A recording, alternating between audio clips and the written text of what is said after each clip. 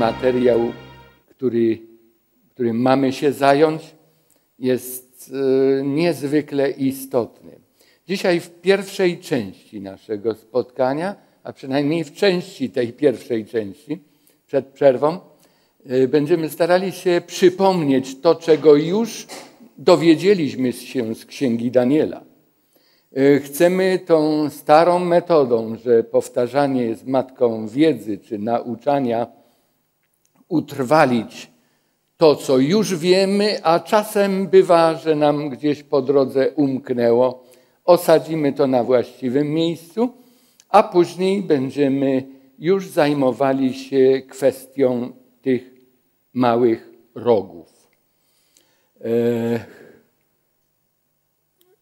istnieje kilka różnych podejść i spojrzeń na interpretację siódmego i ósmego rozdziału Księgi Daniela proroka w aspekcie rozumienia, kogo reprezentują, kogo symbolizują te rogi, które w tych rozdziałach zostały Danielowi pokazane. Zauważyliśmy już podczas wcześniejszych naszych spotkań, że różne, różne inne poglądy niż my je znaleźliśmy w księdze proroka dotyczyły też czwartego rozdziału, tego snu Nebukadnezara o ściętym drzewie. Nie będziemy do tego wracali, ale pamiętamy, że wtedy musieliśmy naprawdę pobrodzić troszeczkę po tekstach biblijnych, zobaczyć, jak to naprawdę Pismo Święte przedstawia, a żeby mieć pewność, że nie budujemy na czymś, cośmy sobie umyślili i próbujemy tego bronić, tylko to jasno, wyraźnie wynika ze Słowa Bożego i wierzę, że dzisiaj po tym wykładzie kwestia rogu czy rogów raz na zawsze się nam utrwali. Takie jest moje życzenie. Niektórzy mówią, że to pobożne życzenie, ale trzeba mieć pobożne życzenia też. Będziemy musieli maksymalnie skoncentrować się na materiale, y, który częściowo będzie ukazany na ekranie, o którym będę mówił. Będziemy chcieli, jak powiedziałem, rozpoznać prawdę odnośnie małych rogów i już wcześniejsze nasze rozważanie dostarczyło nam takiego wrażenia, że istnieją i podobieństwa, i różnice między tymi dwoma rogami. A więc będziemy musieli je skonfrontować, zobaczyć, w czym one są do siebie podobne, czym się od siebie różnią, z czego to wynika i co z tym powinniśmy jako ludzie wierzący i przyjmujący Boże proroctwa zrobić. Rozpocząć, a w zasadzie zająć się chcemy wszystkimi rozdziałami, w których zawarte jest proroctwo. A więc rozdziałem drugim, wrócić do niego, nie będziemy go powtarzać. Przypomnijmy sobie jedynie siódmym, ósmym i dziewiątym. Popatrzcie, jesteśmy już w samej końcówce proroctwa Księgi Daniela. Przed nami tylko jeszcze trzy rozdziały. Jeszcze raz wrócę do tej charakterystyki proroctw Daniela, nie tylko Daniela proroc apokaliptycznych zawartych w Piśmie Świętym. Tę samą zasadę widzimy u Daniela, u Zachariasza i w Apokalipsie Nowego Testamentu. Dokładnie ta sama zasada. Proroctwo dotyczy określonej przestrzeni czasowej, jest podane w kilku wizjach, w kilku takich aktach, odkryciach, które Bóg objawia prorokowi każdy dotyczy tego samego czasu, tych samych wydarzeń, a oglądanych z różnych stron. W ten sposób zdobywamy głębię wiedzy, którą Bóg stara się nam przekazać. A więc przypomnijmy sobie, jeżeli chcemy wydrukować sobie taki obraz, to musimy nałożyć te poszczególne kolory barwy drugiego rozdziału, siódmego, ósmego, dziewiątego i dziesiątego do dwunastego, co nam zostaje na przyszły miesiąc. Zagadnienia, które zawarte są w 10, 11 i 12 rozdziale, rozważać będziemy w czterech kolejnych spotkaniach w czerwcu. W drugim rozdziale y, pokazana jest historia świata pod postacią w obrazie posągu. Od czasów neobabilońskich aż do ustanowienia Królestwa Bożego. W siódmym rozdziale, obok, ta część obrazu, to jest ta sama historia, ale akcent już jest położony na charakter panujących mocarstw. Na charakter nawet ludzi, którzy tam występują i odgrywają ważną rolę. Państwa panujący, o ile w drugim rozdziale przyrównani są do kruszców, do metali, to w siódmym rozdziale do dzikich bestii. I tak to rzeczywiście na przestrzeni historii bywało. One wyłaniają się z wielkiego morza. I stwierdziliśmy, studiując siódmy rozdział, że tu nie chodzi o Morze Śródziemne, ani żaden inny zbiornik wodny, geograficzny na kuli ziemskiej. Chodzi tutaj o to morze, którego symbolika w apokalipce, apokaliptyce występuje i zawsze odnosi się do gęsto zaludnionych terenów, do ludów, narodów, języków, pokoleń. Tak było od czasów babilońskich poprzez Medopersję i właśnie w tym wzburzonym morzu, z uwagi na wzburzenie tych narodów, powstają kolejne potęgi, ale każda następna jest jeszcze bardziej sroga, jeszcze bardziej groźna i one zawojowały tę ziemię. To był drugi rozdział, ten pierwszy kolor, drugi kolor, siódmy rozdział. Przemieszczamy się dalej, chociaż jest to rozszerzenie tej wizji z siódmego rozdziału. Widzimy imperium rzymskie, imperium zachodnio-rzymskie.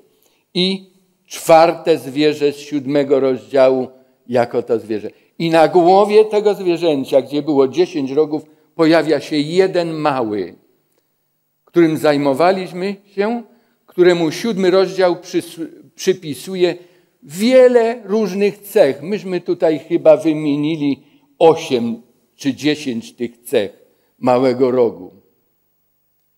I ten mały róg, jak stwierdziliśmy, właśnie tam, gdzie była głowa tej czwartej bestii, tego czwartego, nie mającego sobie odpowiednika wśród zwierząt ziemskich, zwierzęcia, tam się usadawia ten mały róg. Później dochodzi do podziału imperium zachodnio-rzymskiego, później, wcześniej w zasadzie, zanim róg się usadowił, ale mówiliśmy o tym podziale i znowu tutaj widzimy ten mały róg. Mały róg, który ma cechy. Wyrasta z czwartego zwierzęcia na głowie jego, pomiędzy dziesięcioma rogami, po dziesięciu rogach, jest inny niż pozostałe rogi, wygląda na większy od nich, y, obalił trzy królestwa, mówił zuchwałe słowa przeciw Najwyższemu, męczył świętych Najwyższego, zamyślał odmienić czasy i prawo i rządził przez okres czasu, czasów i połowy czasu. Gdy ten jak gdyby zaszyfrowany zapis, czas, czasy i połowę czasu y, włożymy w historię i zinterpretujemy według zasad biblijnych, że dzień proroczy oznacza rok, a czas to jest rok. Y, jaki okres nam wyszedł tam? Czy jeszcze ktoś pamięta? Trzy i pół roku, tak? A w historii?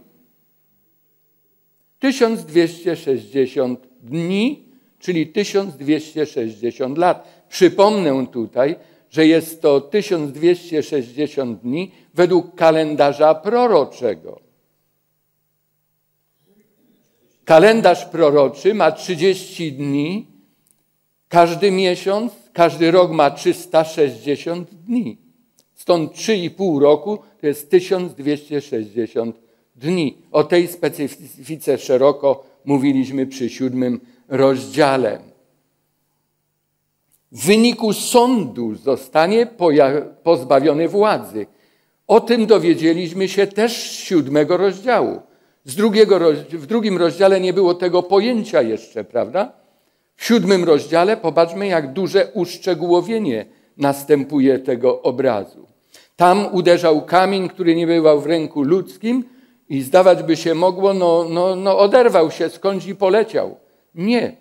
O tym zadecyduje sąd, czy ten kamień upadnie i kiedy on upadnie i, jak, i jakie skutki tego upadku nastąpią. Tutaj dowiedzieliśmy się, że potem odbędzie się sąd, pozbawią go władzy, jest adres bezpośredni do Małego Rogu, aby ją ostatecznie zniszczyć i obalić. A więc sąd potem się rozpoczyna i w trakcie rozprawy sądowej będzie decydowane, co z tym rogiem małym zrobić. Czyli ten mały róg będzie dalej istniał. W siódmym rozdziale dowiadywaliśmy się, że na dźwięk dziwnych słów małego rogu po prostu nadal sceny sądowe były ukazywane. A więc ten mały róg ma okres supremacji do rewolucji francuskiej, te 1260 lat od 538, od dekretu Justyniana, aż do aresztowania papieża Piusa VI przez generał Berthier, no i naszych legionistów, którzy wtedy też byli E, Kniaziewicz i Dąbrowski, którzy byli wtedy również w Italii. Ósmy rozdział natomiast ukazuje, i to jest już ta trzecia klisza, jak gdybyśmy powiedzieli, trzeci kolor, trzecia matryca, ukazuje nam kozła i barana. Wczoraj mówiliśmy o tym, e, jak specyficznym rozdziałem jest ósmy rozdział. Y, do tej pory pokazywano historię z punktu widzenia historii powszechnej. Teraz w aspekcie wydarzeń, czy w tle wydarzeń historii powszechnej, wrócono do spraw ludu Bożego, do spraw świątyni, do spraw Bożych, do spraw wielkiego boju. I tak jak wtedy w pierwszym rozdziale Księgi Daniela, księga zaczęta jest, jest redagowana jest pisana w języku hebrajskim, aż na arenę wejdzie Neobabilon i to, co tam się będzie działo, i zmienił się język na język syryjski czy aramejski, tak teraz, gdy powraca sprawa narodu wybranego, narodu Bożego i służby świątynnej i kapłaństwa, wraca język hebrajski z powrotem. A nawet zwierzęta, które będą obrazowały, to y, y, jeżeli chodzi o, o y, Medopersję, już to nie będzie niedźwiedź podniesiony jedną stroną, który ma żebra w swojej paszczence, to już będzie baranek, to już będzie baran. Kozioł to już nie będzie czterogłowa pantera, czy lampart i uskrzydlony, to będzie kozioł. Zwierzęta, które miały bardzo duże znaczenie w służbie świątynnej. Aczkolwiek one tu nie reprezentują świątyni jako takiej, ale one sygnalizują nam tło, w którym jesteśmy. Jest to jak gdyby echo działań świątynnych, które będzie nie bez znaczenia również i na losy tych narodów, bo Medopersowie wydadzą dekret o odbudowie świątyni, Cyrus, a później wznowi go Dariusz I, nie ten Dariusz Med, tylko Dariusz Pers, a Grecy również będą mieli swoje znaczenie, o czym dowiemy się z jedenastego rozdziału więcej. Tutaj znowu mamy drugi rozdział. Rozpoznajecie, co na tym obrazie jest z drugiego rozdziału?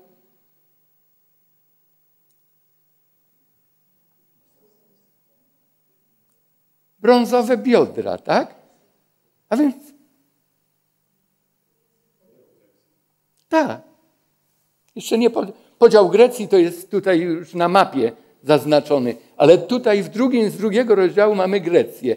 Tu mamy już pokazany rozmach tej Grecji i podział na cztery te yy, królestwa Ptolomeuszów, Kassandra, Lisymacha i Seleukosa. Według siódmego rozdziału, a więc popatrzmy, tu mamy wszystkie trzy rozdziały razem.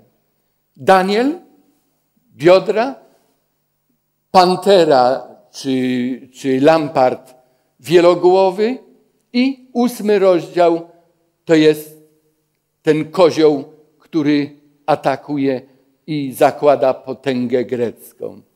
I wtedy, gdy łamie się róg pierwszy i na jego miejsce wyrastają cztery rogi, z jednego z nich to oznacza. Wczoraj konkurs był. Z jednej ze stron, na które rozrosły się te cztery rogi, wyrasta jeden mały róg. Tutaj jeszcze mamy raz pokazane tych czterech diadochów, tych czterech generałów Aleksandra Wielkiego, którzy podzielili w roku 301 przed naszą erą po dwudziestoletniej bratobójczej walce. Rozerwali to imperium na cztery części. Ten mały róg i właśnie odnośnie małego rogu niektórzy mają duże tutaj zastrzeżenia. Ja powtórzę tylko to, co wczorajśmy utrwalali i wczoraj na konkursie było i dzisiaj znowu o tym mówimy i już wiem, dlaczego będziecie pamiętać, skąd wyrastał mały róg. To wcale nie jest z tego wykładu ani wczorajszego, ani z dzisiejszej powtórki. Z konkursu to będziecie pamiętać. Mam rację? Tak to zawsze jest. Jak to dobrze, że mamy konkursy, bo one służą utrwalaniu wiedzy. A więc jeszcze raz powtórzona ta zasada gramatyczna, która rządzi również zrozumieniem tego i wykładnią tego tekstu. Jeżeli chodzi o ten mały róg, on nie panuje tylko jak te cztery rogi na tej ziemi. On sięga bardzo wysoko. On atakuje niebo, on atakuje lud Boży, on atakuje świątynię i tego, który jest Panem tej świątyni. I teraz mamy te dwa rogi z siódmego rozdziału i z ósmego rozdziału. A więc omówiliśmy i znamy cechy tego małego rogu z siódmego rozdziału i z ósmego rozdziału. Popatrzmy, czy widzimy podobieństwa albo czy zauważamy różnice pomiędzy tymi małymi rogami, gdy te wszystkie cechy już nam się ukażą na wyświetlaczu, na ekranie. Co tutaj jest wspólnego między tymi dwoma małymi rogami? No pierwsze chyba to, że jeden i drugi nazwany jest małym rogiem. Prawda? Wspólna cecha, bardzo, bardzo silna, bardzo mocna. Co jeszcze?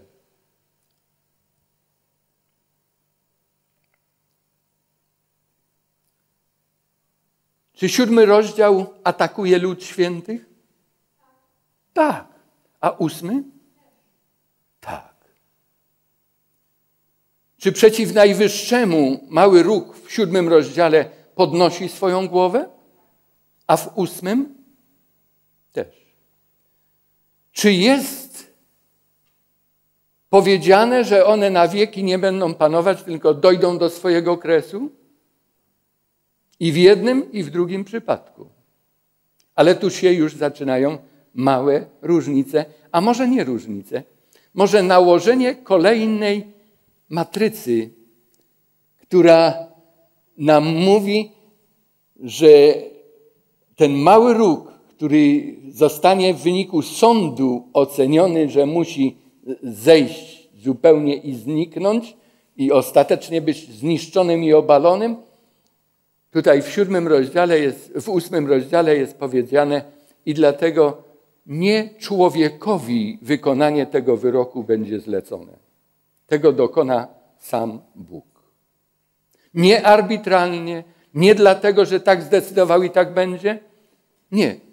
Rozprawa sądowa tego dowiedzie. Przejdziemy do innych porównań tutaj jeszcze i zobaczymy inaczej e, zobrazowanych, które pokażą nam kolejne podobieństwa i różnice. A więc okresy prorocze. Pierwszy, pierwszy może zasłonię, żeby nie przeszkadzało nam. Pierwszy, jego okres supremacji, czas, czasy i pół czasu do końca. A tutaj, kiedy się skończy supremacja tego małego rogu i jego deptania świątyni? Gdy się skończy 2300 wieczorów i poranków. Ani w jednym, ani w drugim przypadku nie jest podany czas rozpoczęcia. Myśmy widzieli, że Daniel musiał na zrozumienie czasu rozpoczęcia 2300 wieczorów i poranków czekać 13 lat. Bóg miał chyba cel, że wcześniej tego nie pokazał. My niejednokrotnie chcielibyśmy wszystko wiedzieć od już, ale Bóg wie, że nawet gdybyśmy to wiedzieli, to i tak nie wiedzielibyśmy, co z tym robić. I byłoby to na darmo.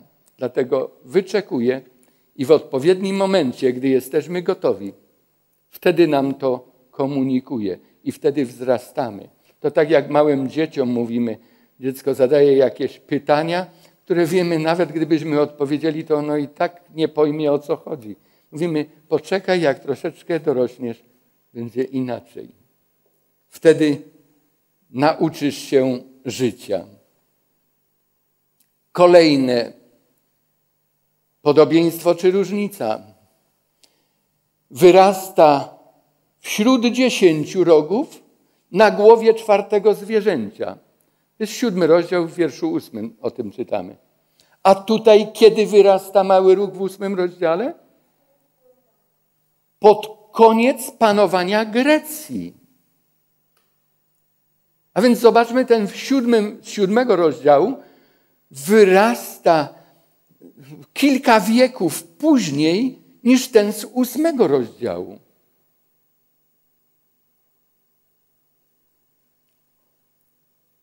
Finałem sąd według siódmego rozdziału. Według ósmego rozdziału oczyszczenie świątyni. A co to jest oczyszczenie świątyni? Sąd. Jest Jom Kippur. Odnowienie, oczyszczenie. Lew uskrzydlony według siódmego rozdziału, niedźwiedź i tak dalej, te zwierzęta. Popatrzmy, w ósmym rozdziale Babilon jest zupełnie pominięty. Baran dwurożny, jako Medo-Persja nam się jawi. Kozioł jednorożny, któremu później wyrastają cztery. Ci zbrodniarze z kozła mają dopełnić swojej miary. Jakiej miary? W ósmym rozdziale jesteśmy w kontekście już ludu Bożego. Co takiego Grecy pod koniec panowania mają uczynić? Powiedziałem, że w jedenastym rozdziale to zobaczymy, ale i tutaj w ósmym rozdziale na samo zakończenie pokażę Wam pewne po prostu mignięcie tylko, w którą stronę powinniśmy spoglądać, aby to zobaczyć. Dalej, według siódmego rozdziału jest czwarta bestia, dziesięć rogów i mały róg. A co jest według ósmego rozdziału? W tym samym miejscu nic innego, tylko mały róg. Czyli historycznie mały róg zajmuje okres panowania czwartej bestii, dziesięciu rogów i małego rogu z siódmego rozdziału.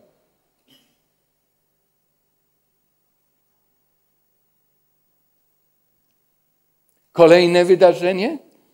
Sąd, oczyszczenie świątyni według ósmego rozdziału. Losy ludu Bożego, święci Najwyższego otrzymują królestwo. A tutaj anioł będzie wyjaśniał to wszystko aż do ostatecznego uwolnienia ludu Bożego i to się rozciągnie, ta wykładnia, aż do dwunastego rozdziału. Ale jest rozpoczęta już w rozdziale ósmym i dziewiątym.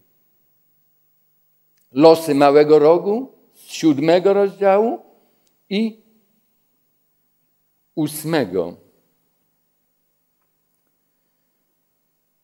Przypomnijmy sobie kilka faktów odnośnie potęgi, w której czas wpasowuje nam się tutaj mały róg z ósmego rozdziału. To może być ciekawe.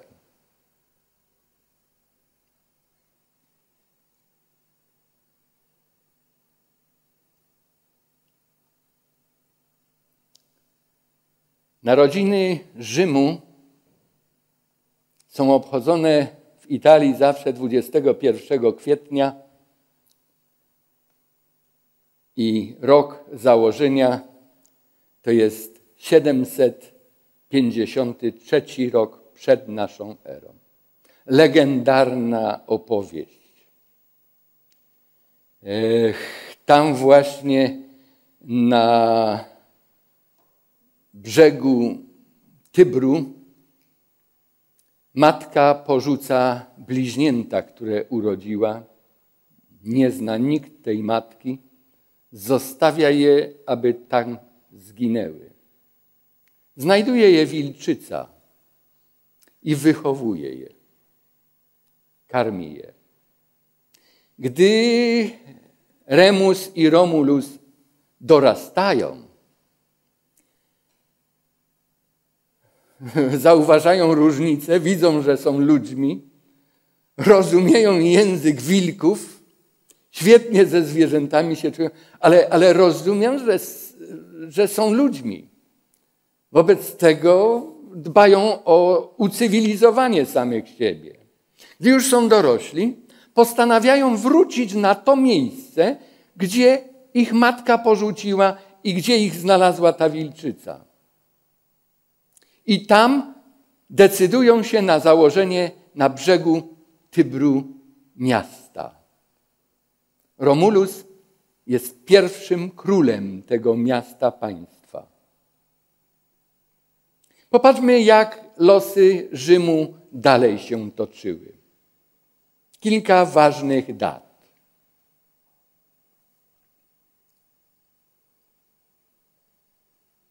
Nie będę ich czytał, powoli się wyświetlają i nadążymy za nimi. Zatrzymamy się przy niektórych. Czy widzicie ekspansję Rzymu? Od bliźniaków, które matka skazała na śmierć, pewną śmierć, które ocalały po 450 latach panują już nawet na Sycylii. Dlatego Kasander, któremu przypisano te tereny również włoskie, nie mógł tam w ogóle pojechać, bo Rzym go już nie wpuścił. Chciał na Sycylię pojechać, nie miał prawa do tego. Około 265 Rzym panuje już w całej Italii. Jest tak silny roku dwusetnym, niektórzy historycy mówią o dwusetnym i pierwszym roku, że gdy w Egipcie panuje Ptolomeusz V, ten za czasów którego y, Septuaginta była również przetłumaczona. To był chłopiec, który miał pięć lat, gdy wszedł na tron, ale że tron był dynastyczny, nie mogło być inaczej. Panowali oczywiście inni, zaczęli walczyć między sobą. Wobec tego poproszono Rzym, aby objął protektoratem Ptolomeuszy w Egipcie. Stolica ich była wtedy w Aleksandrii, nie w Kairze jak teraz. W 197 roku zwyciężają Filipa V. W 191 pokonali Antiocha Wielkiego, Syryjczyka, potęgę, jednego z najpotężniejszych królów syryjskich. Jego synem był Antioch IV. Jako młody chłopiec ojciec musiał go oddać Rzymianom jako zakładnika, żeby utrzymać z Rzymem pokój. Antioch znał Rzym dokładnie i gdy później już został wypuszczony, jego ojciec zmarł i on był koronowany jako Antioch IV i przyjął później to miano Epifanes, czyli boski. To nie tylko August był boski, przed nim Grecy również takie miana mieli. Jego współcześni, i to historia odnotowała w kilku źródłach, to znalazłem, nazywali go przekornie, gdy on mówił o sobie Epifanes boski, to oni go nazywali Epimanes. A Epimanes oznacza szaleniec.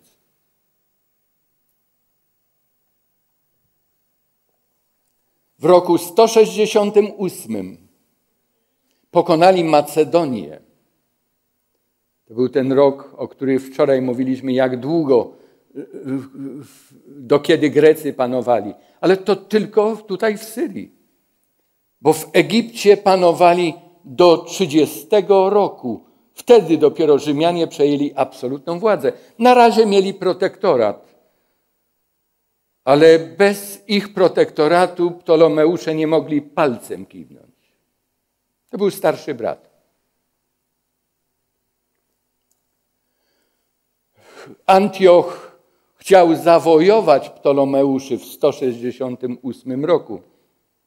I zobaczymy dzisiaj, jaka scena rozegrała się w takiej małej miejscowości Eleuzis na południowym brzegu Morza Śródziemnego, na przedmieściach prawie Aleksandrii. Pojawił się pogląd, pojawił się pomysł na to, że mały róg który zbezcześcił świątynię, o której czytamy w ósmym rozdziale proroka Daniela, to właśnie Antioch Epifanes. Bo Antioch Epifanes zrobił coś takiego Żydom, co było bardzo bolesne, ale o tym też za chwilę. I to należy zaliczyć do tej kategorii zapowiedzi, że te ludy greckie dopuszczą się przestępstwa i zbrodni wobec ludu Bożego. On tego dokonał. Ale niektórzy mówią, skoro tego dokonał, to on jest tym Antiochem, y, on jest tym małym rogiem z ósmego rozdziału. Kto na to pierwszy wpadł? Wyśmienity filozof, historyk pogański, nazywał się Porfiriusz. Żył w latach 233 do 304. E, był zdecydowanym przeciwnikiem Boga, Stworzyciela, przeciwnikiem Żydów, przeciwnikiem chrześcijan, przeciwnikiem Pisma Świętego, każdej natchnionej księgi. Napisał bardzo obszerne dzieło przeciwko chrześcijanom, y, które dzisiaj nie wiemy dokładnie, ale mówi się od 13 do 15 woluminów, tomów tego dzieła było. Jeden tom był poświęcony w całości księdze Daniela, w której to księdze ją zdysk, w której to tomie tę księgę zdyskredytował i wykazał, że wszystko, co w tej księdze jest napisane, ma inne znaczenie, a sama księga nie powstała i nie była napisana przez Daniela, który był w Babilonie dostojnikiem, tylko została napisana przez bezimiennego jakiegoś człowieka, który chciał podnieść ducha w narodzie żydowskim w czasach Machabeuszów, gdy mieli bardzo trudny okres w swojej historii. Z tych tomów nic się nie zachowało. Ani skrawek, ani jedna karta. Skąd wiemy wobec tego, że był ktoś taki? No o tym, że był ktoś taki, to i historia odnotowała, ale co pisał przeciwko chrześcijanom? Tylko z apologii chrześcijańskich. Apologeci, którzy bronili chrześcijaństwa przed napaściami Greków w tym przypadku i nie tylko Greków, różniej często i szkoły aleksandryjskiej, chociaż to też była Grek, Grecy, tylko Ptolomeusze, i stoików greckich w Atenach i innych filozofów, oni cytowali ich pisma, ich wypowiedzi i wtedy ustosunkowywali się do nich, obalając je. Ale nie było odważnego, który by obalał ataki na księgę Daniela. Bo jedynym argumentem to była wiara, to było przekonanie, że to Bóg powiedział dla chrześcijan to, bo jesteśmy w naszej erze. To jest czwarty i sam początek V wieku. A więc to, że jest Bóg, że Chrystus mówił o proroku jako Daniel, ale to dla historyków, dla filozofów to nie jest argument. Ty sobie możesz wierzyć, tak? Jeśli ci wygodnie, to możesz z tym żyć, a nawet umrzeć, ale fakty były inne. I Porfiriusz to dokumentował. E, my wierzymy w dalszym ciągu, i tak było, że księga datowana jest napisanie tej księgi na VI wiek. O tych dowodach wewnętrznych, zewnętrznych też mówiliśmy na wstępie. Porfiriusz datuje ją na drugi wiek, a szczególnie na okres lat 167-164, właśnie tego bardzo zaciętego ataku na Judejczyków. 167, zauważcie, to było rok potem, jak go przeprosili Rzymianie z Aleksandrii.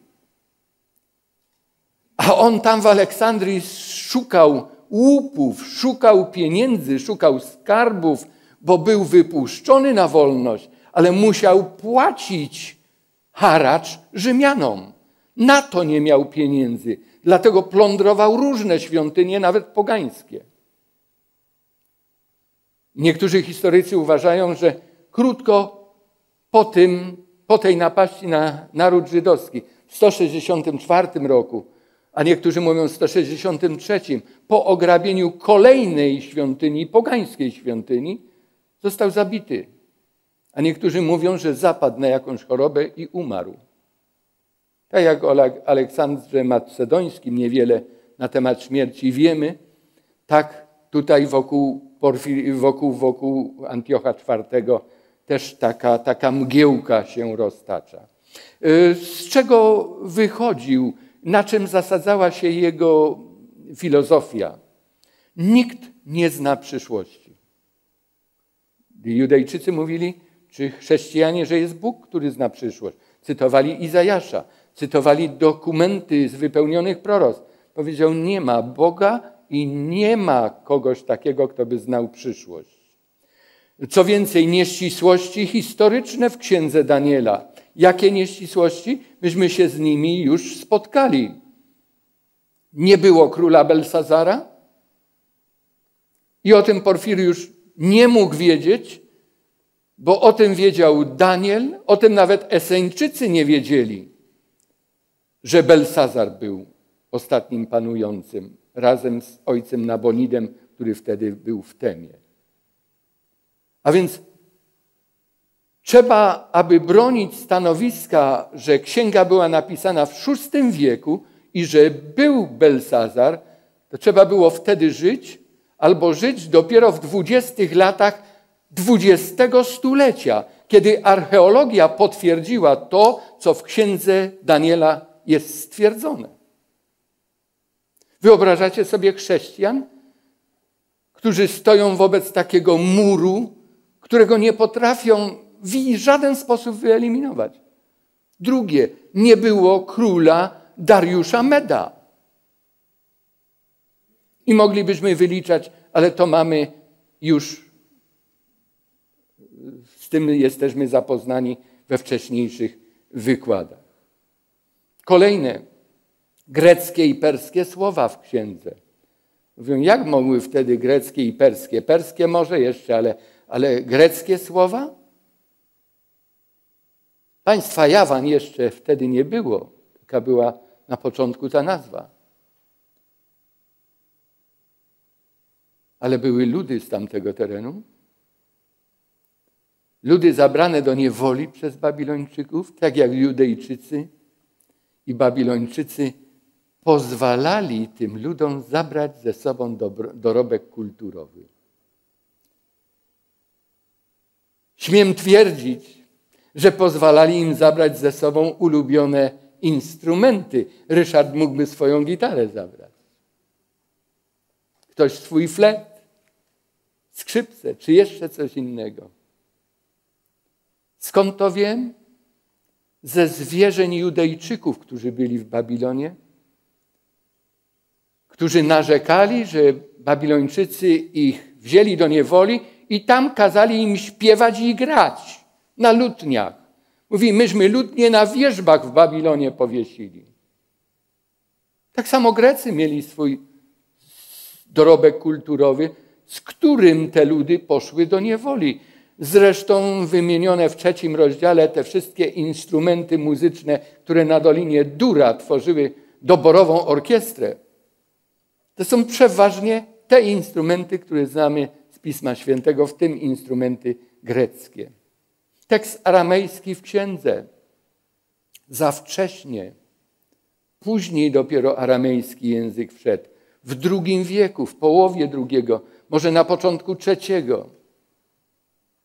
Okazało się, że teksty aramejskie występują w pierwszej księdze Mojżeszowej. Pamiętacie, gdy Jakub był u Labana i tam służył mu za dwie jego córki, oszukiwany tak jak kiedyś sam oszukiwał swojego brata. Jak to bumerangiem wszystko wraca. Co siejesz, to będziesz żął.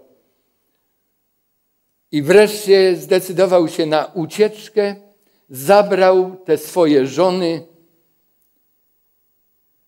Laban rozzłoszczony, no, utracił najemnego najemnego, niewolniczego pracownika.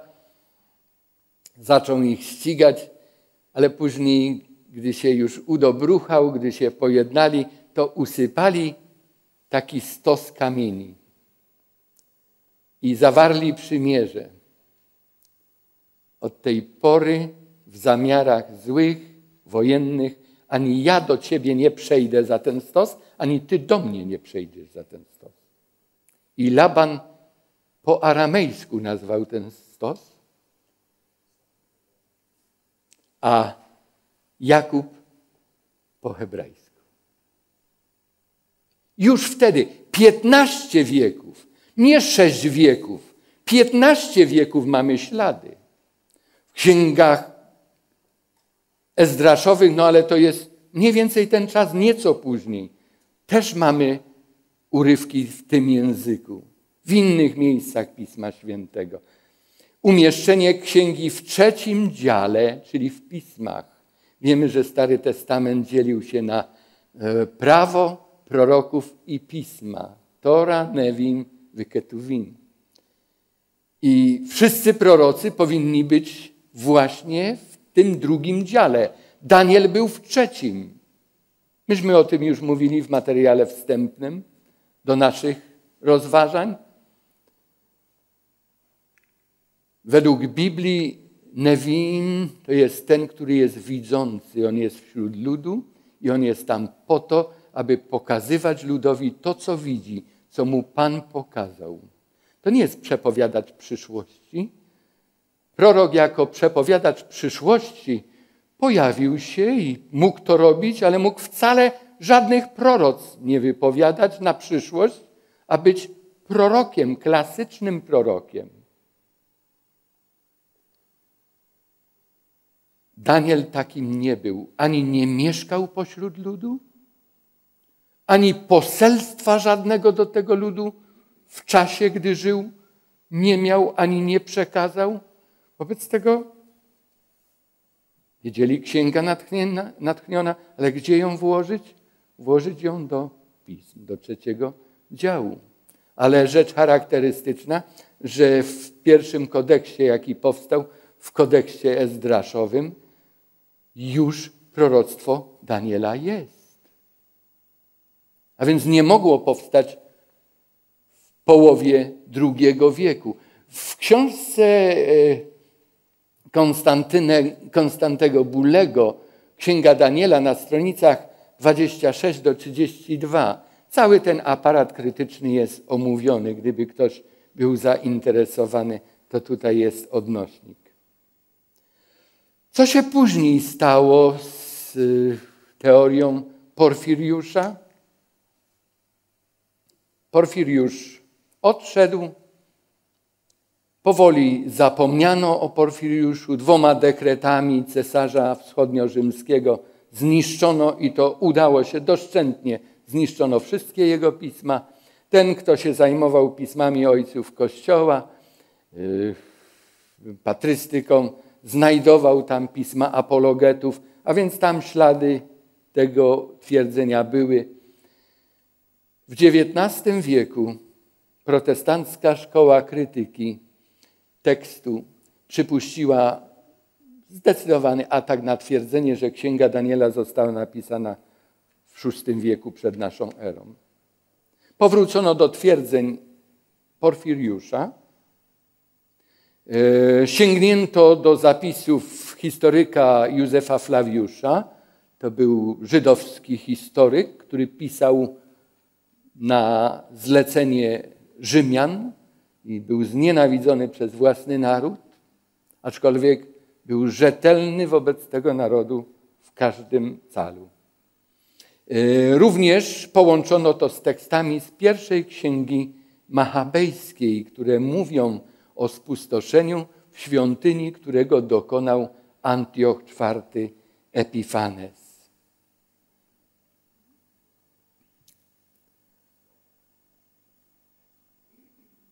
Czas spustoszenia, o którym mowa jest w pierwszej księgi machabejskiej, to jest rozdział pierwszy, wiersze 54 i 55, w dniu 15 miesiąca Kislew 145 roku na ołtarzu całopalenia wybudowano ohydę spustoszenia, a w okolicznych miastach judzkich pobudowano także ołtarze. Ofiary kadzidlane składano nawet, nawet przed drzwiami domów i na ulicach. I dalej rozwój tej sytuacji i zamknięcie jej. 25 dnia dziewiątego miesiąca, to jest miesiąca Kislew, początek jest prawie taki sam jak tam, 148 roku, wstali wcześnie rano i zgodnie z prawem złożyli ofiarę na nowym ołtarzu całopalenia, który już wybudowali. I to jest tekst z czwartego rozdziału pierwszej księgi machabejskiej, 52 i 53, bo te napisy tutaj widzę, kolorystyka jest bardzo nieczytelna. 145 e, rok według kalendarza syryjskiego to jest 167 rok według naszej rachuby czasu, wtedy kalendarza juliańskiego, ale my już jesteśmy w gregoriańskim. 148 y, rok według kalendarza syryjskiego to 164 według naszej rachuby czasu. Dokładnie w tym samym miesiącu, trzy lata później, jak zniszczono i tę ohydę spustoszenia postawiono, Antioch rozkazał na ołtarzu świątynnym ofiarować świnie, aby dotknąć bardzo boleśnie Żydów. I nie wolno im było interweniować, nie wolno im było nic zrobić. Trzy lata później i dziesięć dni, Bo tam to było 15 miesiąca Kislew, a tu 25 tego miesiąca Kislew. A więc dokładnie trzy kalendarzowe lata i 10 dni trwało to pogwałcenie sumin, sumin Izraelitów i zanieczyszczenie tej świątyni ziemskiej. I niektórzy mówią, właśnie to jest ten okres.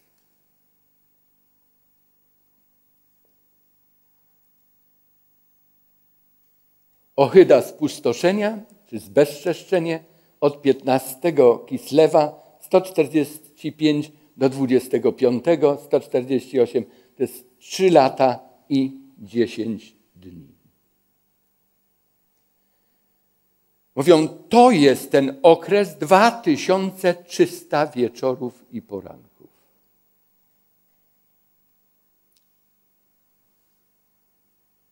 Popatrzmy na to uważniej, bo jeżeli ktoś mówi i utrzymuje, to musi mieć jakieś argumenty i nie wolno tego zlekceważyć i odrzucić.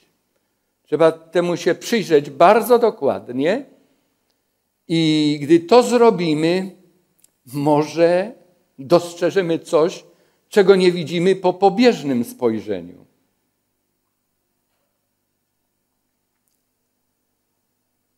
Trzy lata i dziesięć dni.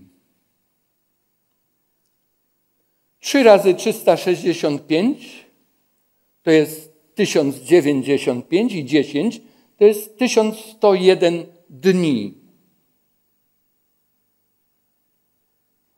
Ci, którzy i Porfiriusz, i ci wszyscy, którzy stoją na tym stanowisku, że to Antioch Epifanes i że to jest to wydarzenie, mówią, że to trwało 1150 dni. No ale my mamy 2300 wieczorów i poranków. I jak z tego zrobić 1150 dni? Normalnie mówią. Normalnie.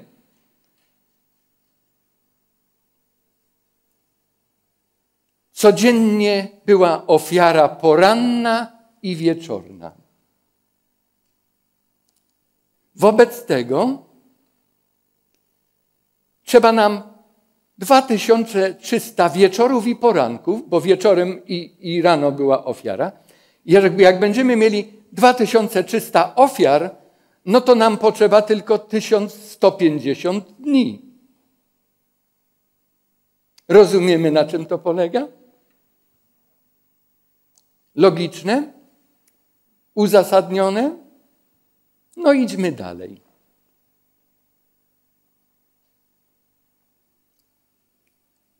Brakuje nam 45 dni. Boże proroctwo nigdy tak niedokładne nie było. A jeżeli brakuje nam 45 dni, to nam brakuje 90 ofiar. A więc nie mamy 2300 wieczorów i poranków. Mamy tutaj 2210 wieczorów i poranków. Bóg się pomylił? Czy jeszcze coś innego tutaj wchodzi w grę?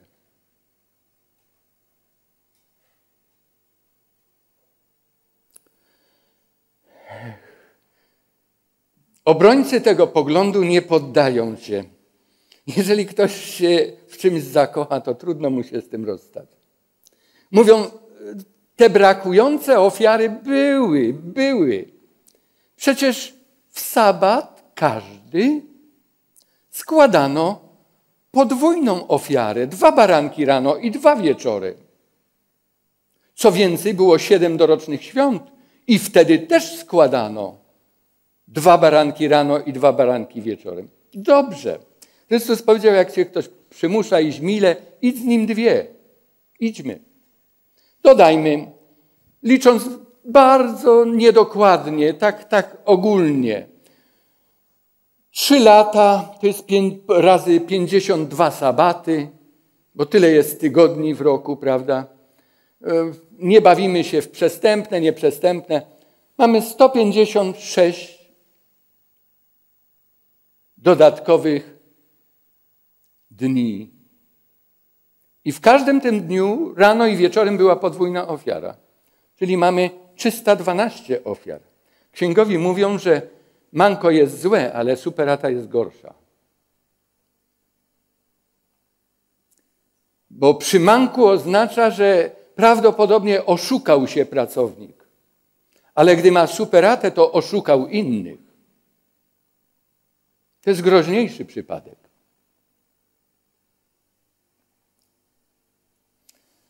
Zwróćmy uwagę, dodając jeszcze tę podwójną ilość zwierząt ofiarowanych w sabacie jako dodatkowe ofiary, to jest te 312 ofiar, nam nie przybywa ofiar, nam przybywa tylko baranków, bo ofiary się nie podwoiły.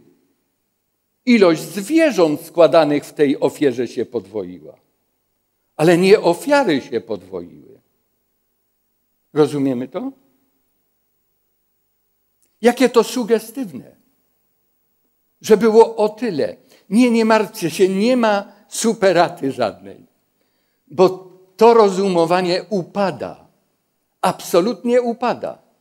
Bo przez to, gdybyśmy po trzy baranki składali na poranną i na wieczorną, to nam się nie potroi ilość ofiar. Ofiar jako obrzędu. Tylko ilość zwierząt, które zostały zabite, złożone w ofierze. A gdybyśmy przyjęli, że tak, pójdźmy nawet i na to, to zamiast tamtych 2210, bo mieliśmy brak 90 ofiar, teraz mamy 2522. Jeszcze nie doliczyliśmy siedmiu dorocznych świąt. Możemy doliczyć.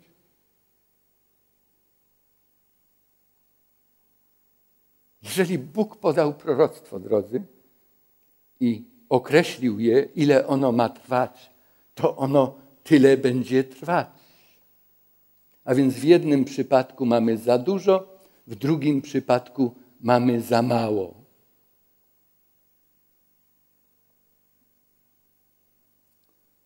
Nic się nie zmieniło, chociaż baranków będziemy mieli o 222 więcej, to ofiar wieczornych i porannych i tak mamy o 90 za mało. Warto się przyjrzeć argumentom adwersarzy, którzy uważają, że to jest inaczej. Spokojnie. Ja się nauczyłem, drodzy, że najtrudniejsze teksty Pisma Świętego są najpiękniejsze, najbardziej atakowane teksty i prawdy Pisma Świętego są najcudowniejsze. I, I, mój ulubiony autor, Ellen White, napisała tak: Jeżeli nie będziemy studiować Pisma Świętego tak, jak powinniśmy, to Bóg dopuści w kościele herezję, żeby nas zmusić do dokładniejszego przyjrzenia się prawdom, w które wierzymy. I dziękujmy Bogu za to. To jest przykre nieraz, ale dziękujmy za to, że nas nakłania, żebyśmy sięgnęli głębiej do Pisma Świętego, a nie tylko ja to już wiem, to, to dawaj, dawaj następne. To nie jest sposób na czytanie Pisma Świętego i utrzymanie kontaktu z Bogiem. Idziemy dalej. Co z tym wszystkim teraz zrobić? Rozstrzygnijmy wreszcie, czy chodzi o 2300 dni, lat, czy też o 2300 ofiar w ciągu 1150 dni. Tam opowiadana jest taka historia, jest tłum y, i ktoś mówi, o jaki wielki tłum, jest tutaj 2300 mężczyzn i kobiet.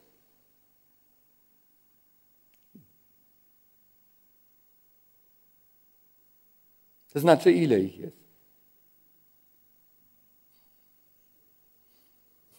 Pomyślicie w domu.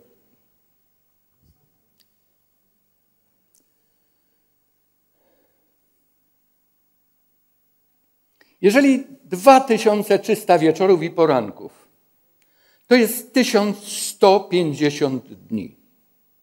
To taką metodą redukcji przejedźmy sobie przez tę liczbę i zobaczymy, do czego nas to doprowadzi. To 1000 wieczorów i poranków to jest 500 dni, prawda?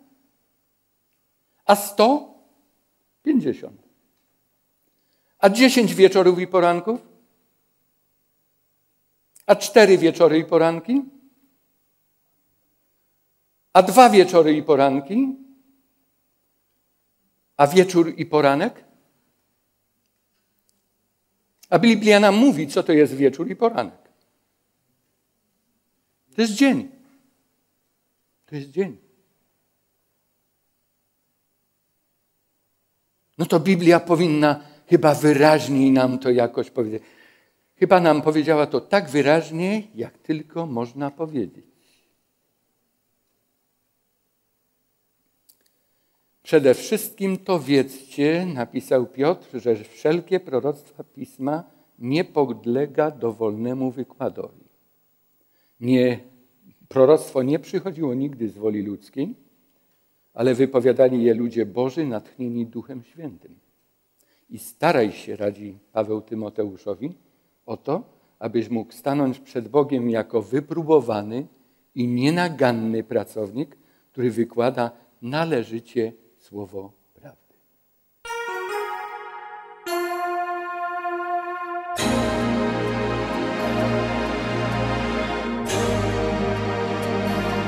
Badajmy pisma i szukajmy właściwych odpowiedzi. Pierwsze zagadnienie chodzi o dni, które są przeliczane na lata, czy chodzi o ofiary.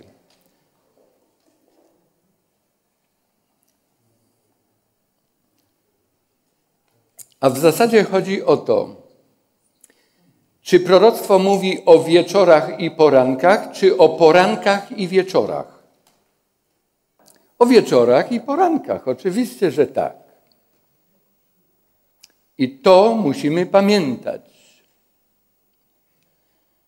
Jeżeli chodzi o codzienne, stałe ofiary, składane były według określonego systemu. Rano i wieczorem. Rano i wieczorem. Rano i wieczorem. Nigdy cykl świątynny nie funkcjonował wieczorem rano. Tak funkcjonowała doba. A więc jak Bóg podał proroctwo o 2300 wieczorach i porankach, to się odnosi do pierwszej Mojżeszowej pierwszego rozdziału. Tam właśnie taka sekwencja następuje. Natomiast w świątyni było zawsze inaczej. Przytaczam te teksty. Będziesz to czynił na ołtarzu, codziennie ofiarować będziesz stale dwa roczne jagnięta. Jedno jagnię ofiarujesz rano, a drugie jagnię ofiarujesz przed wieczorem. Czwarta Mojżeszowa, 28 rozdział. Rozkaż synom izraelskim i powiedz im, przestrzegajcie składania mi w oznaczonym czasie mojej ofiary i mojego chleba. Ta ofiara poranna i wieczorna była nazwana przez Boga moja ofiara. To nie była ofiara za grzech, to nie była ofiara przebłagania, to nie była ofiara y, jakaś pokutna, to nie była ofiara wdzięczności. Bóg powiedział, ten baranek rano i wieczorem, to jagnie, to jest moja ofiara. Tam dodatki jeszcze były, mąka, oliwa, chleb i tak dalej. Co to oznaczało? Że gdy baranek został rano złożony, Bóg złożył tę ofiarę, to był ten najbardziej przemawiający symbol baranka Bożego, który gładzi grzech świata. Dopiero gdy on był złożony, grzesznicy mogli przychodzić z ofiarami i wdzięczności, i przebłagania, i pokutnymi, różnego rodzaju grzechy. Gdyby ta ofiara nie była złożona, wszystkie tamte nie miały żadnego znaczenia. Żadnego znaczenia. Dlatego wczoraj mówiliśmy, gdy prawdziwy baranek złożył swoje życie na krzyżu, zasłona w kościele rozdarła się. I wtedy nie można było już żadnych ofiar składać. To już nie była Boża ofiara, nawet gdy przyniesiono rano i wieczorem jagnię. Bo moja ofiara już oddała życie na Golgocie. I wszystkie inne ofiary, wszystkie systemy, które próbują to ponawiać, To nie jest już dla Boga. Czytaliśmy wczoraj w liście do Hebrajczyków w dziesiątym rozdziale, kapłani składają swoje ofiary teraz. Bez Bożej ofiary. I powiedz, to jest ofiara ogniowa, którą będziecie składać dla Pana. Dwoje rocznych jagnion bez skazy codziennie, jako stałą ofiarę całopalną. Jedno jagnię przyrządzisz rano, drugie jagnię przyrządzisz wieczorem. Drugie, y, przepraszam, tak, drugie jagnię przyrządzisz wieczorem z taką samą ofiarą z pokarmów, jak rano i z taką samą ofiarą płynów. Przyrządzisz je jako ofiarę ogniową, wą przyjemną, przyjemną dla Pana. Mamy jeszcze jeden tekst w tym względzie z drugiej Księgi Królewskiej, 16 rozdziału, z czasów króla Ahaza. Ahaz dał też kapłanowi Uriaszowi taki rozkaz. Na ołtarzu wielkim puszczaj z dymem poranną, całopalną ofiarę i wieczorną ofiarę z pokarmów i tak dalej, i tak dalej. To jest cykl świątynny. Gdy w Biblii czytasz rano i wieczorem, to się odnosi do składania ofiar. Gdy czytasz wieczór i zaranek, to się odnosi do dni. Generalna zasada rządząca całym Pismem Świętym. Uważajcie, bo będzie wieczór konkurs.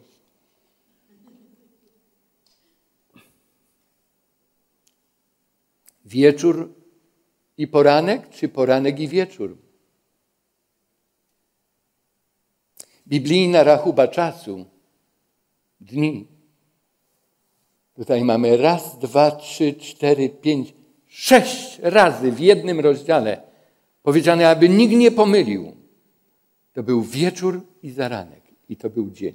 Wieczór i zaranek. Drugi, trzeci. A Biblia mówi 2300 wieczorów i zaranków. Czy są jeszcze jakiekolwiek wątpliwości, jeżeli wierzymy Biblii? Jesteśmy konsekwentni do jej języka? Żadne proroctwo Pisma Świętego nie może być własnego wykładu. A my starajmy się, jak Paweł radził Tymoteuszowi, tak studiować Biblię, aby gdy ją wykładamy, nie zawstydzić się. Nie przed ludźmi, to jest najmniej ważne. Przed Bogiem się nie zawstydzić. Żebyśmy byli Jego sługami, Jego narzędziem. A teraz zajmijmy się wielkością i rozwojem i finałem małego rogu. Czy tutaj Epifanes nam się zmieści, czy ktoś inny. Wielkość i ekspansja małego rogu.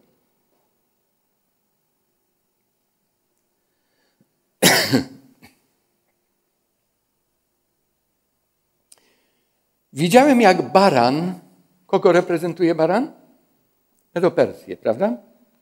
Jak baran budł na zachód i na północ i na południe, żadne zwierzę nie mogło mu się oprzeć, Nikt nie mógł wyratować z jego mocy. Robił co chciał i był coraz silniejszy.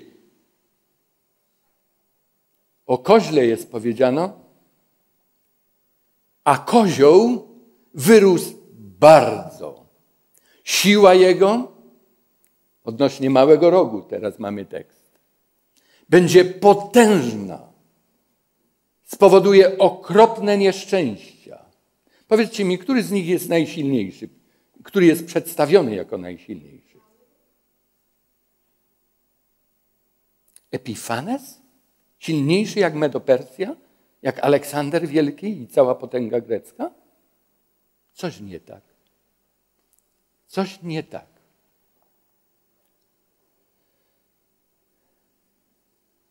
To, że niektórzy uważają, zwolennicy tego samego poglądu Porfiriusza, że ten mały róg wyrastał z jednego z rogów. To mamy już za sobą. E, tu mamy kawałek posążka właśnie Antiocha IV. Czy on miałby być tym małym rogiem, który jest większy od kozła całego i od barana, którego kozioł podeptał? Nad tym trzeba się zastanowić. Czy on wyrastał do księcia wojsk niebieskich? Czy on zaatakował księcia świątyni? A znam takich, którzy mówią tak, bo najwyższy kapłan był księciem świątyni. I zawsze pytam, a skąd ty to wziąłeś? A z Biblii Gdańskiej, z dziejów apostolskich, gdy apostoł Paweł y, tam stał przed sądem Sanhedrynu i najwyższy kapłan kazał go uderzyć. I on powiedział, ciebie ściano pobielana Bóg uderzy. I przyszedł jeden ze sług, uderzył Pawła i powiedział, tak, księciu, najwyższemu kapłanowi? Złorzeczysz? Paweł mówi, przepraszam, nie wiedziałem. Tutaj mamy ślad jeszcze, że Paweł miał naprawdę słaby wzrok. Jest jeden z dowodów. Takich dowodów jest kilka rozrzuconych w Nowym Testamencie. Gdy uważnie czytamy, na wszystkie możemy trafić. A więc mówią nazwany. Nazwany akurat w tym przekładzie, ale w języku oryginalnym nigdy, nigdzie kapłan nie był księciem świątyni. Nie był właścicielem świątyni. Świątynia była świątynią Jahwe. Panem świątyni był Jahwe, ale nigdy żaden najwyższy kapłan. Wszystko, co czynił, to mu się udawało. Tak temu małemu rogowi. Czy Antiochowi też się wszystko udawało? To jest scenka, którą możecie przeczytać, barwnie opisana jest w książce Anny Świderkówny Hellada Królów, gdzie pisze właśnie o Grekach, y, pisze o, o Antiochu IV Epifanesie i o tym, jak y, w, Eule, w Eleuzis koło Aleksandrii w lipcu 168 roku, wiedząc już, że, że po prostu los na tacy daje mu Aleksandrię i wszystkie skarby i świątyni. Nareszcie będzie mógł zadłużenia wszystkie wobec Rzymian spłacić. I wtedy szybkim krokiem zbliżył się do niego ten Gaius Popilius Lenas. Antioch Świderkówna to tak, taką fabułę tworzy, wyciągnął do niego dłoń Popilius Lenas zlekceważył to, jak gdyby nie widział, w ogóle z nim się nie przywitał. Podał mu pismo i powiedział, to jest pismo z Senatu.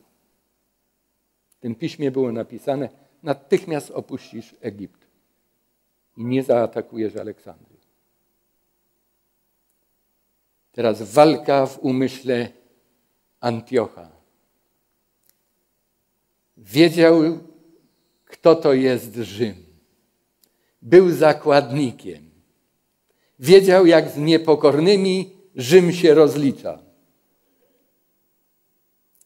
Żeby mieć czas na zwłokę, powiedział: Zastanowię się nad tym. I Popilius Lenas, właśnie laską, którą miał w ręce, otoczył na piasku, wyrysowując taki krąg. I powiedział: Zanim wyjdziesz z tego kręgu, dasz odpowiedź senatowi. I Antioch powiedział, wycofuje się. Dlatego się wściekł później i na Żydach starał się odbić to, czego nie mógł tutaj zyskać. Rok później zrobił to w Jerozolimie. A że Jerozolima była na terenie i administrowana przez Seleucydów, miał do nich dosyć łatwy dostęp, aczkolwiek Machabeusze nie bardzo z tym się godzili i tam ciągłe niesnaski były. Ale Antioch nie był potężnym władcą. Jego ojciec Antioch III to był potężny władca i jego potęgę złamali Rzymianie. Natomiast Antioch IV, Epifanes, no nie udało mu się. Zwróćmy uwagę na czas powstania Małego Rogu. O tym już mówiliśmy, ale to trzeba sobie powtórzyć. Wyrasta na południe wschód ku Palestynie, a więc tak Rzymianie szli w kierunku. Już w 200 roku byli w Egipcie, później poszli na tereny wschodnie do Syrii i do Palestyny. Bardzo powoli to wszystko się kształtowało, ale bardzo skutecznie. Sięgał gwiazd i wojsk niebieskich, niszczył i deptał. Rzym pogański tu nam już nie pasuje, prawda? Rzym pogański zniszczył świątynię ziemską, niszczył Żydów tutaj na tej ziemi, ale do nieba wmawiał w, sobie, w siebie potęgę księcia wojsk niebieskich. Nie, oni tymi kategoriami nie myśleli. Od czasów Augusta po prostu oni się starali przedstawić jako bóstwa. Kadzidło kazali sobie ofiarować, ale nie po to, żeby jakiegoś innego Boga usuwać. Bezcześcić miejsce Jego świątyni. Wszystko czyni z wielkim powodzeniem. Ktoś by powiedział, bezcześci miejsce Jego świątyni. No w 70 roku to już nie była świątynia Jachwę. Świątynią Jachwę przestała być w 31 roku, gdy Chrystus oddał życie. To był pomnik błogosławieństw i prowadzenia i lekcji, jakiej udzielał Bóg przez wszystkie wieki swojemu narodowi. Ale świątynia już inna funkcjonowała, o której Chrystus z Samarytanką rozmawiał, o której Paweł napisał w liście do Hebrajczyków przed zniszczeniem tej świątyni w Jerozolimie. Niszczy możnych i lud święty? Tak, to pasuje też do Rzymu pogańskiego, Rzymu politycznego.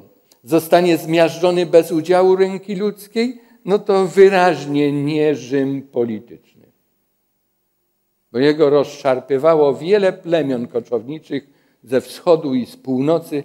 Zostały z niego strzępy, ratowali się przeniesieniem stolicy to już Konstantyn Wielki w 330 roku do, do Konstantynopola i tam później Imperium Bizantyjskie zakładali. A więc popatrzmy na ten czas pojawienia się, trwałości i finału Małego Rogu na podstawie ósmego rozdziału. Media Grecja, cztery królestwa, lecz pod koniec ich królowania, gdy zbrodniarze dopełnią swej miary, powstanie król zuchwały i podstępny. Jeżeli możemy Antiocha Epifanesa gdzieś tutaj umieścić, bo zrobił dużo złego dla narodu izraelskiego i dla kultu, który wtedy był naprawdę służbą dla Boga. To w tym miejscu, pod koniec królowania ich, czyli Greków, gdy zbrodniarze dopełnią swojej miary. To była ta zbrodnia na narodzie żydowskim. Powstanie król zuchwały i podstępny. A więc co się dzieje? Rzym, który jest polityczną władzą, przeobraża się coraz bardziej, sięga po coraz więcej. W drugim rozdziale mamy znowu tę sekwencję. Cztery królestwa, stopy z żelaza i z gliny i wielki kamień. Siódmy rozdział. Sąd pozbawią go władzy, aby ją ostatecznie zniszczyć i obalić. Kiedy? Po supremacji małego rogu z siódmego rozdziału, który ma wiele cech podobnych do tego z rozdziału ósmego.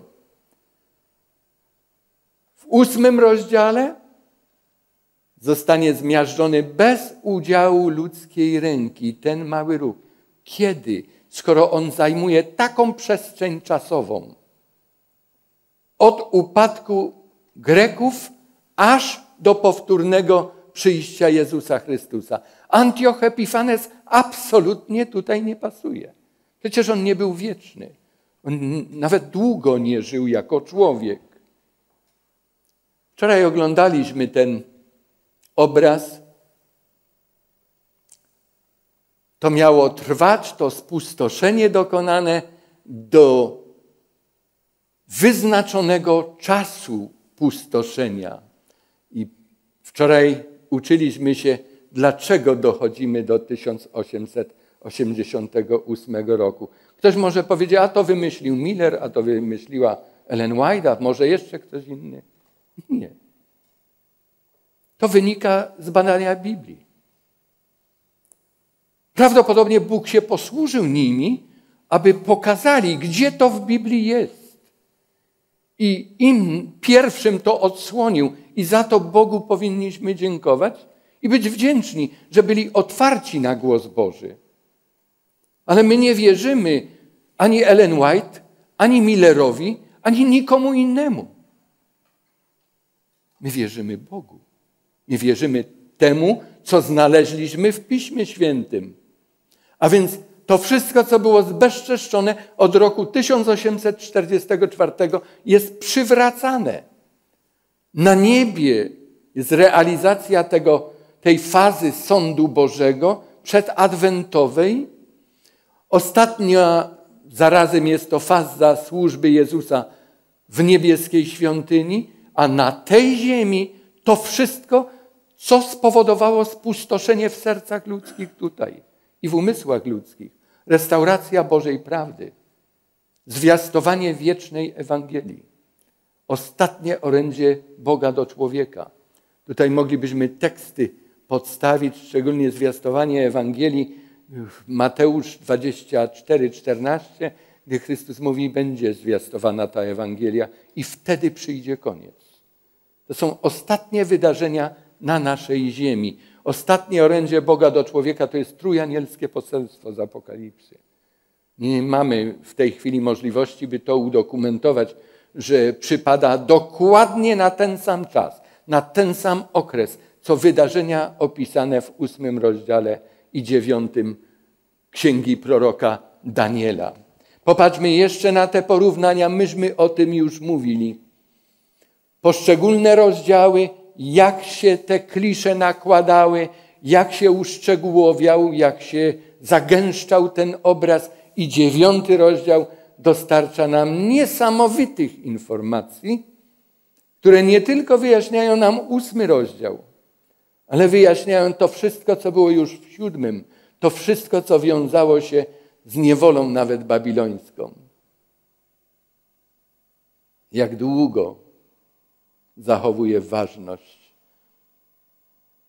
To widzenie dotyczące stałej, codziennej ofiary przestępstwa pustoszenia, bezczeszczenia świątyni i deptania prześlicznej ziemi? Jak długo? Dokąd? Do 2300 wieczorów i poranków. Potem świątynia znowu wróci do swojego prawa.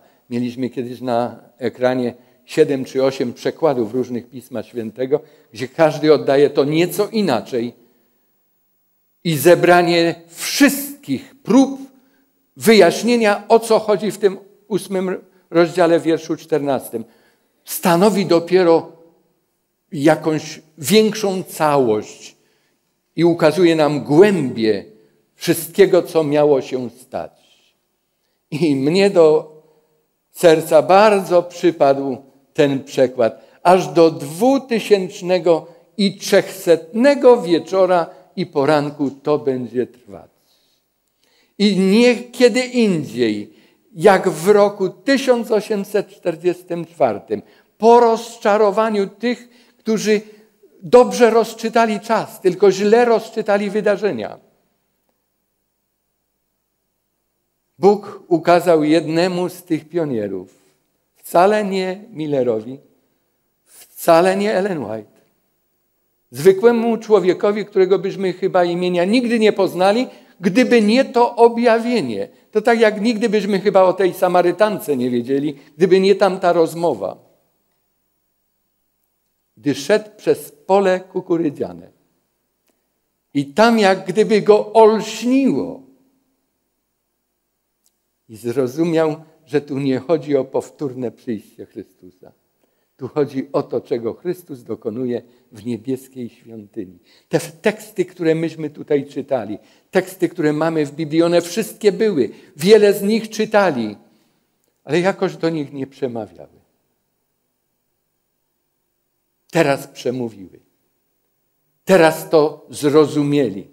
To tak jak Daniel na wyjaśnienie tego 13 lat czekał. Gdy zdawało się, że już inne proroctwa nawet rozumie i już się martwił, czy one się spełnią, Bóg wtedy powiedział: Słuchaj, ale ja ci wyjaśnię to. Bóg zawsze działa w odpowiednim czasie. Właśnie obchodziłem naokoło, bo umknęło mi w tej chwili. Ja też. Za chwilę go znowu będę wiedział. Nie pamiętam w tej chwili jego nazwiska. Proszę? No, nie, nie, nie, nie. Bates to jest kwestia sabatu. Hiram Edson. Hiram Edson. Popatrzmy na dziewiąty rozdział. Po sześćdziesięciu i dwóch tygodniach pomazaniec będzie zabity i nie będzie go. W zasadzie wiemy, wiemy, jaka to słabość tego przekładu. Ale mu to nie zaszkodzi. Lud księcia, który wkroczy, zniszczy miasto i świątynię.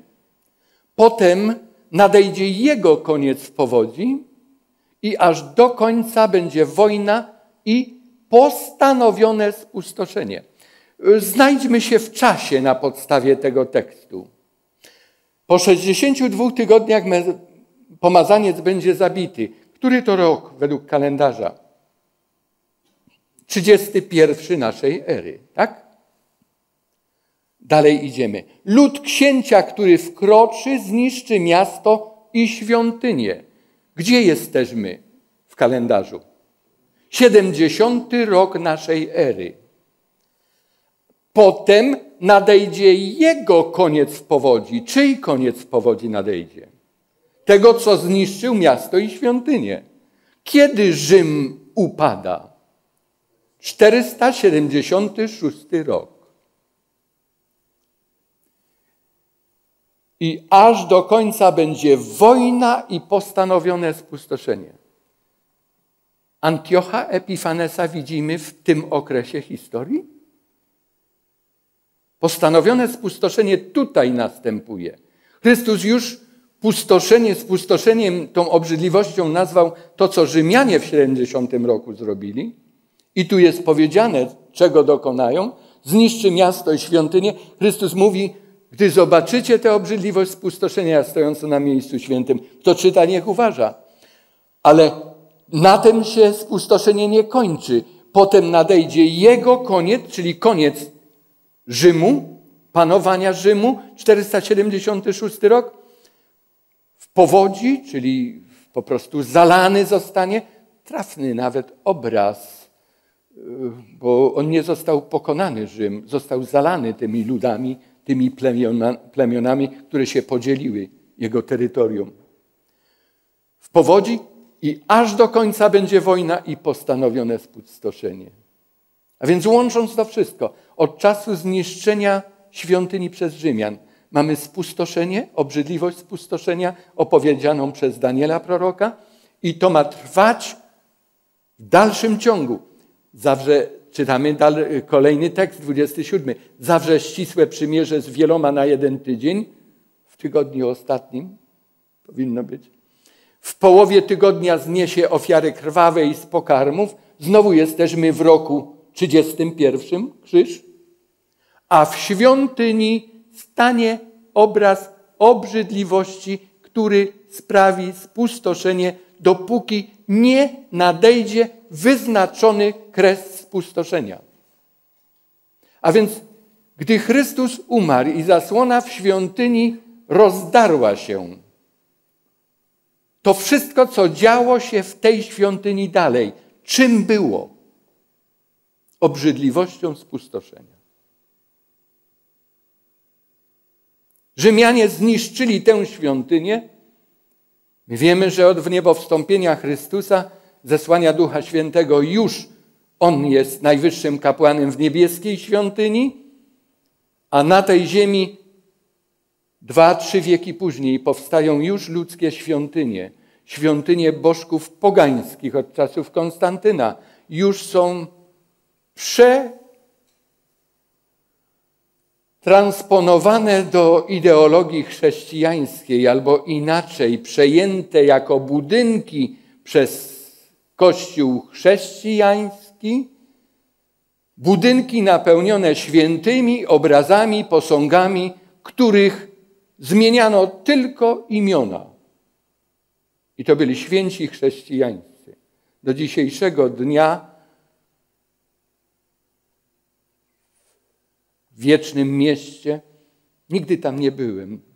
I tak zastanawiałem się, czy nie warto by tam było kiedyś jeszcze zdążyć przed milenium. Ale pokazywano mi nawet zdjęcia na cokole wysokim apostoł święty Piotr. I powiedziano mi, tego nikt nie kryje, to we wszystkich przewodnikach możemy co obszerniejszych przeczytać, że tam jest tylko dorobiona głowa Piotra, bo ten cały posąg to jest Bożek Pogański.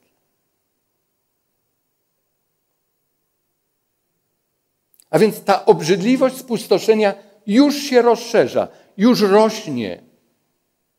Ja chciałem to, bo w tej chwili jesteśmy tak bardzo topograficznie umiejscowieni i historycznie czy jest możliwe, że my, którzy, którzy jesteśmy świątynią Bożą, my, których ciała są świątynią Bożą, w których Duch Święty mieszka, możemy spowodować obrzydliwość spustoszenia w samych sobie? Bo to jest łatwo wytknąć błędy komuś. Jak łatwo nam się mówi o Babilończykach i nawet bylibyśmy gotowi pokazać adresy, gdzie ich znaleźć, podczas gdy w nas samych może być tyle Babilonu, na ileśmy pozwolili. A więc gdy mówimy o pustoszycielu świątyni, to nie zapomnijmy, jest ktoś, komu na tym bardzo zależy aby spustoszyć i zniszczyć świątynie nasze. Bo nigdy nie byłaby spustoszona świątynia izraelska w czasach Ezechiela, gdyby nie, były, nie doszło do spustoszenia świątyń serc ludzkich. Nigdy by się to w chrześcijaństwie nie stało. Nigdy Żydzi by nie scerowali tej zasłony w świątyni po jej rozerwaniu, gdyby nie dopuścili do tego, że Bóg został wyproszony z ich życia.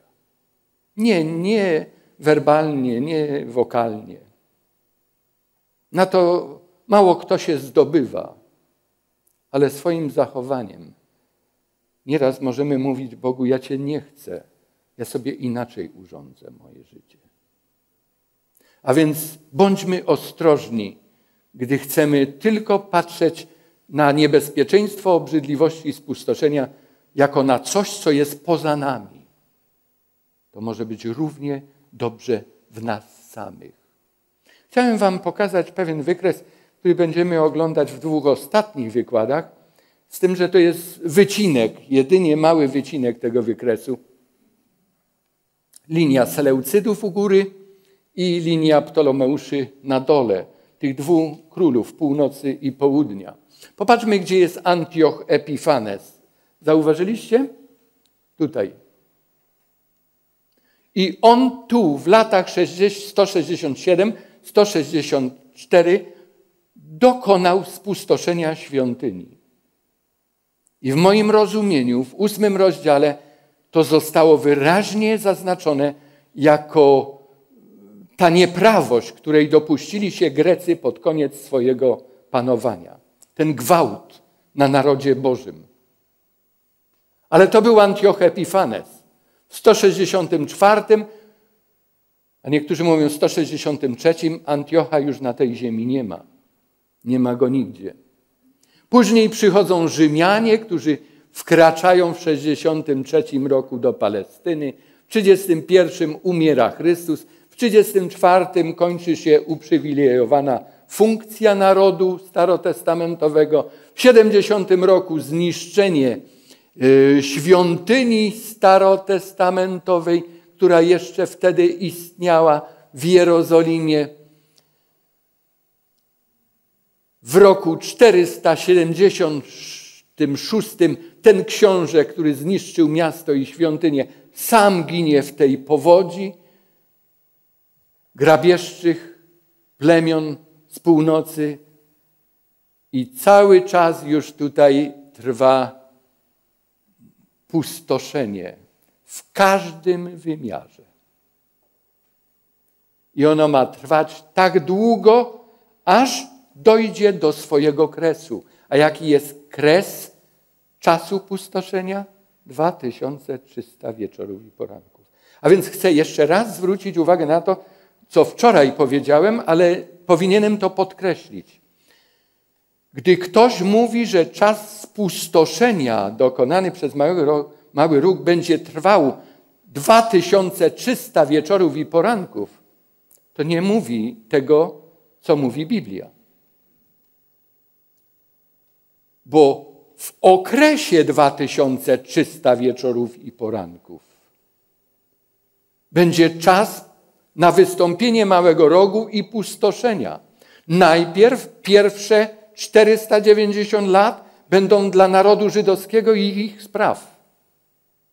Spustoszenie dopiero się zacznie po śmierci Zbawiciela. To pustoszenie, którego dokona mały róg, który wtedy już jest silny, już jest potężny. I wyznaczony kres spustoszenia to jest koniec 2300 wieczorów i poranków. Tutaj mamy 538 jeszcze rok. Przejęcie pałeczki pustoszenia z Rzymu politycznego przez Rzym religijny. I ta moc religijna dokonuje tego aż do 1844 roku, mówiąc językiem Daniela 11 rozdziału, o jeden rok dłużej niż wynosi okres 1335 dni, o którym czytamy w 11 rozdziale. Rzucam już po prostu takie haczyki, takie kotwice tam.